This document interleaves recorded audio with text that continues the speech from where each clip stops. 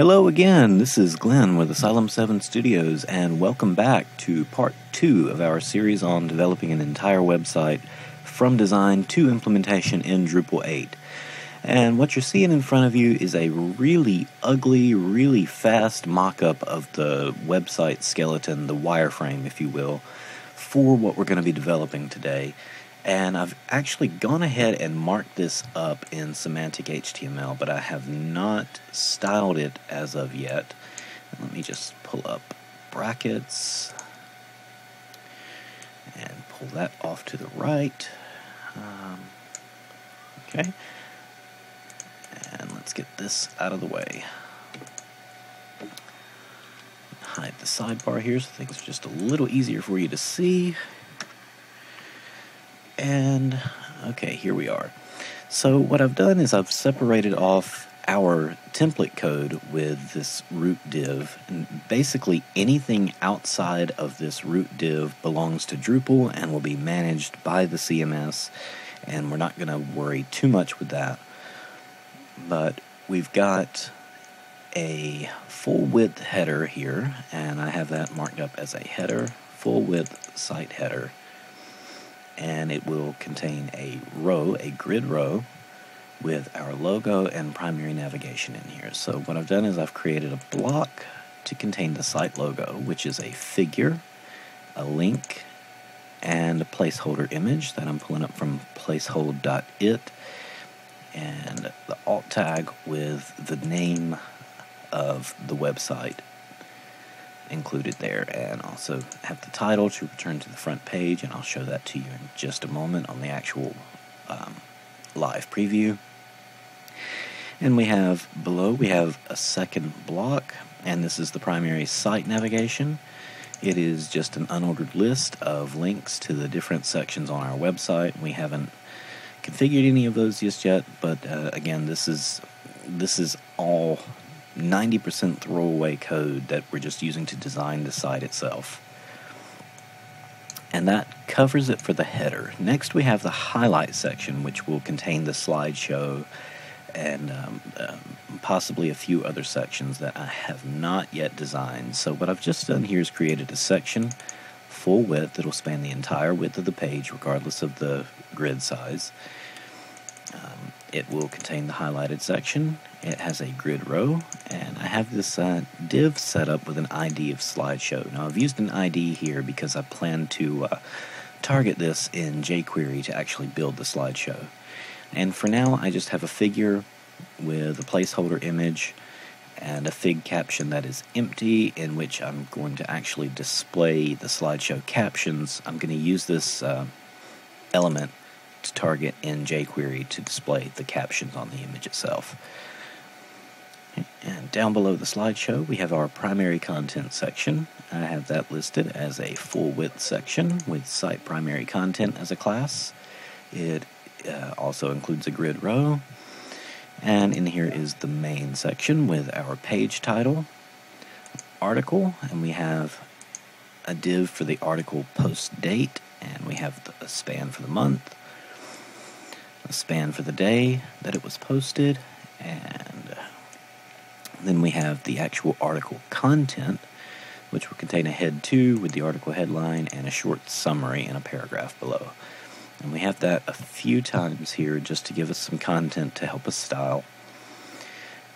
And now over beside of that we have the first sidebar, which will be a will contain a block with a search form in here and this is very simple very basic search form. Doesn't have to do anything because this is just design. Uh, Drupal has a search block that we're going to look at uh, styling and pre-processing rewriting um, to fit what we need. Okay below that we have our Twitter feed which is another block with an H3, just with the title of the block here, and we may not end up displaying that on the final design, just depends on how everything looks when it's when we get to that point. Uh, this is still the design phase. I just prefer to do my design in the browser. Okay, and for each tweet, I'm rendering those as a figure, and this is probably not the best way to do it, but um, you know, we're we're using this because of the um, I, I, forget the word, uh, the convenience of being able to set the figure caption and have that as the actual body of the tweet and the username um, for the Twitter feed.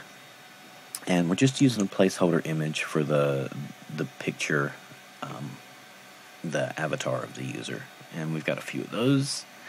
Now below that we have a feature ticker, which is another full width section, and I don't have anything labeled in the mock-up here, but it is a full width section, and basically we're just going to have uh, three articles or, or pieces of content on the website, and we're probably going to animate this as a jQuery slideshow as well. Um, but I, I'm again not sure, and it depends on how things go in the design phase. But basically, I'm just creating a short headline, short summary, and I have up to three of those. Next, we have the site footer with four separate sections. The first is a block and will contain legal information such as the copyright, terms of use, and privacy policy. We have our off-site contact information with the company name, address, phone number, and email. And I've just got placeholder data in here for now. Now we have the site footer contact, which will be an actual contact form where someone can just put in their name, email address, a short message, hit submit, send us a message from anywhere on the site. They don't have to worry about going to a contact page, though we will likely have a contact page. Um, uh, uh this would just be there for the convenience of the user. And so let's just take a look at it here. We have a field set, the legend, send us a message um, a text input for the name, an email input for their email address, and I have it marked as required. Um, I'm actually not sure why that's there uh, because I'm not going to require an email address on that section of the placeholder form, so we'll just get rid of that. Then we have a text area with, for their message and a submit button to send the form. Next, we have the footer navigation, which will likely contain main navigation as well, um, just in another easy to access, easy to use place. But for now, I'm just using it for uh, social media icons, and I've just got these 24 by 24 placeholder icons linking back to the page with an H5 above it to connect with us. And I'm actually going to pull up the um, the live preview of this just so that you can see the the markup of the site. Um, and again, it's all completely unstyled. But in the next video, we're going to go over getting all of these sections to align to the grid um, uh, just overall. So we're going to be pushing all of the header content up into the header, spreading it out full width, uh, doing something with the slideshow section to make it look a bit better. Um, just lining up the main content, the ticker, and the footer. But that's going to do it for this video. This is uh, just an overview. Um, and as a reminder, we uh, we have just started doing these tutorial videos on uh, designing and developing um, in everything from web design, game design, 3D modeling, um, graphics design as well. We're going to be covering several um, different subjects in different video series. And if you're interested in what you see, uh, feel free to uh, tweet this out, share it on Facebook. Um, we don't have a, a, donation section just yet, but uh, we we are providing these videos for free in our spare time.